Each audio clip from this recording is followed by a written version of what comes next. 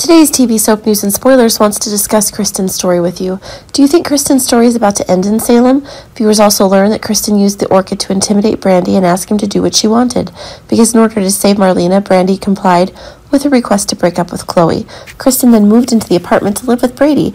Everything will be over for Kristen if she no longer has orchids, and that means that Brady has no ties to her.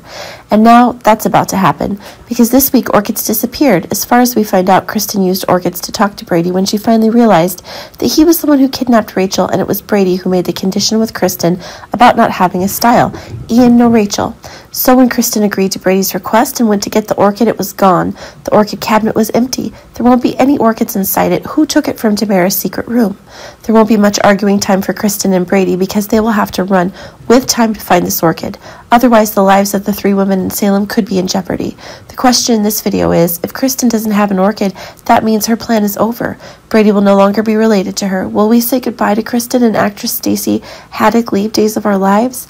What story will happen to Kristen? Let's wait and see what happens. Thank you for watching our video, and don't forget to subscribe and follow TV Soap News and Spoilers channel to predict, discuss, and update the latest news about Days of Our Lives on Peacock.